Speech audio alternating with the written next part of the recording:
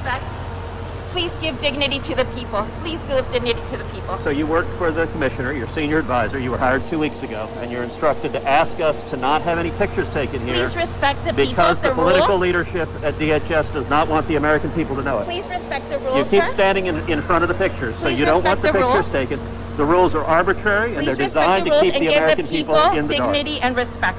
That's all we ask. Well, no, dignity it's and not. respect. You're asking, is this Please- dignity and respect? Look at these people. give There's, a and pandemic. respect to the people. Let- let me ask ask you, there- there's a I pandemic. I respectfully ask you, sir. There is a pandemic. Is this respecting the rights of these I kids? ask you. Please Are you respecting the people. rights of these this kids? is not a zoo, sir. Please don't treat the people. You're right, and this is a dangerous place. Please don't treat the people. and your like policies, this. I un- unfortunately, you, are trying to hide them. I understand That's you were I instructed.